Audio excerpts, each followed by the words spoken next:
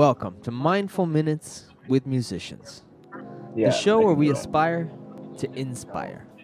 for so many years, the industry, like musicians, would only, you know, their most of their income would come from doing shows, and now it's been completely flipped on its head. Right. you know, now it's entirely streaming, right?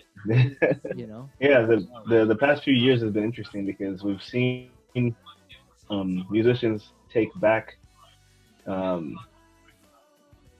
I guess, take back their music. You know what I mean? Because before it was so easy to download anything on the internet. You know, people would torrent things, and but now everybody has Spotify, so the musicians are actually getting paid as as they should for their for their, their music. And and if you're finding new releases, you can't just find them on a million different websites. They're all they're only on you know Spotify, Apple Music, Tidal, Deezer. You know, so it Yeah. actually has been a I guess a like a renaissance as far as the way that music musicians um, keep our income. You know,